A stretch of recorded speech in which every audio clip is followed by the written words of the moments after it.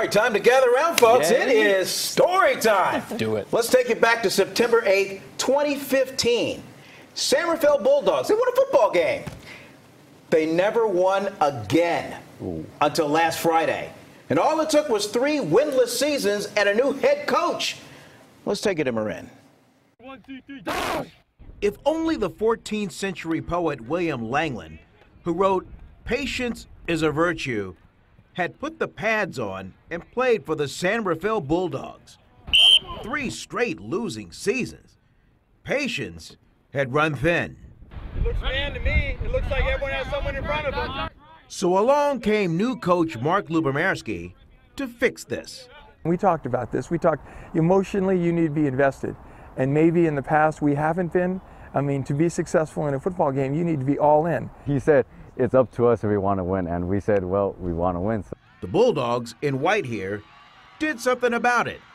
They snapped a 27 game losing streak. That's three seasons by shutting out Richmond High School 28 to nothing. And get this, they were underdogs in that game too. we were waiting on this moment for a long time. It, we knew we were going to win. And as the seconds ticked down, we were trying to be classy. I don't really know if it worked out. The seniors are rolling on the ground. You don't see joy very often, but they were, that was the, the epitome of joy and just, you know, those kids hadn't won a football game.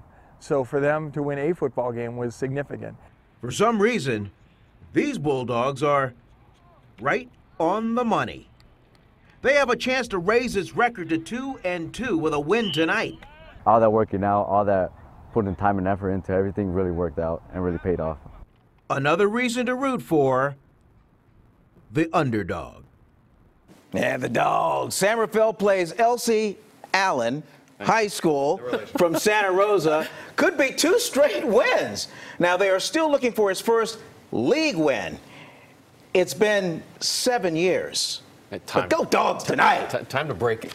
Time Go to ahead and get that them. streak. Yeah, that's what I Rooting say. for him.